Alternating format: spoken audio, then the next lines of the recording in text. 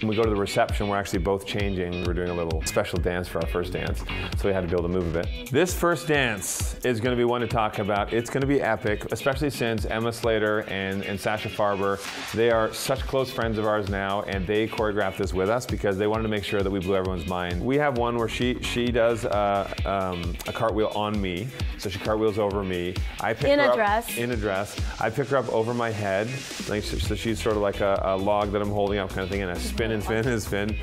That's the part that she doesn't like because I spin so fast that she gets dizzy.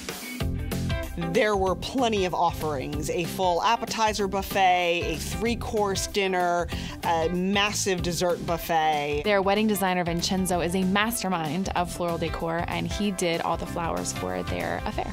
We didn't just go for a white cake. We went for something that had a bit of a transition from white into something that's more our aesthetic. The cake, which was designed by the masterminds behind the show, Cake Hunters, featured multiple tiers with multiple flavors. I honestly am blown away by how many people came out this week with us. Enjoy the food!